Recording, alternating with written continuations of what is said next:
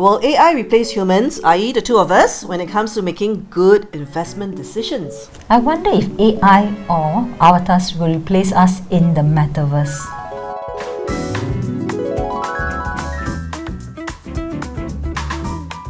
Hi, I'm Selena. And I'm Carmen, and welcome to Two Analysts and One Hat. For today, we're going to talk about AI. If ChatGPT becomes sentient, will it have to pay taxes on its investment? Given the growth of ChatGPT and the many, many usage that we are starting to see in the broad economy, if there is a way to tax it, I'm sure the Ministry of Finance would love to do so. How are ChatGPT and AI developments affecting tech stocks, and is this rebound temporary? Well, I think we've seen that a lot of technology stocks have benefited from this whole interest in ChatGPT, especially companies which are dealing with big data, mm-hmm. cloud, software, as well as, of course, uh, semiconductors. Semiconductor is one of the largest, uh, what I would call brain behind the whole uh, powering the whole chat ChatGPT. So there are a lot of sectors that have done very well. In fact, year to date, some indices have actually gone up to about 30 40%. So that is definitely a very strong indication of the trend ahead. But having said that, for the longer term, we believe that actually this is most likely here to stay. AI is definitely here to stay. It has been around for a long time. It's just that this generation of AI is a lot more interactive, a lot more creative, and a lot, of course, a lot more content as well. Will AI automate your investment decisions? I or? The whole investment climate is actually a very complex sort of situation, and you still need to perhaps to understand the client's needs. And, and I think a lot of this is still very far from being able to be automated at this point in time. So there is still a good long way for I think human to human interaction and also trying to understand market on a daily basis. Do bear in mind that actually there is some limitation because a lot of the data that you collect could possibly be a bit outdated by the time you gather it. And to make an informed decision at this point in time, you do need very current sort of information from someone with the knowledge. You know?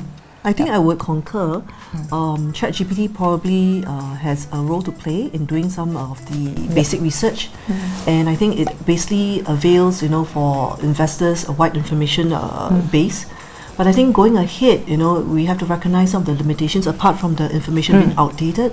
The other point really is that it doesn't customize to each individual's uh, yeah. risk horizon or risk appetite. So I guess we still have to take it with a slight tone of caution. What's the one thing you really want AI to help you with? Oh, plan my holiday, definitely.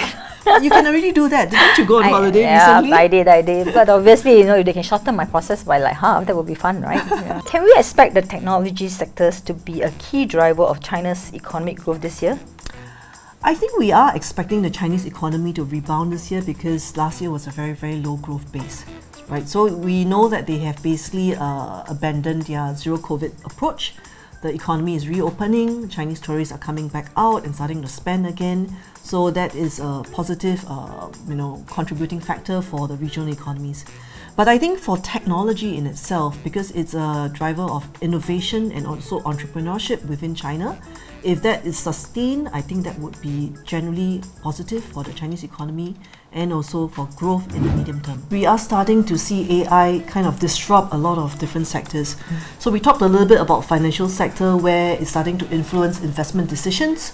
But I think if you look at the education sector, you know, even schools are grappling with whether to allow students to use ChatGPT to write their essays mm. or to submit projects. I think at the end of the day, um, you know, AI will probably disrupt some jobs, but I think in the process, we also probably will create some new jobs mm. to harness this new technology as well. Mm. So I wouldn't be too bearish about you know the role of uh, technology in terms of automation. I think it's a very new growth industry and we're probably still exploring what are some of the risks and opportunities that come along with it.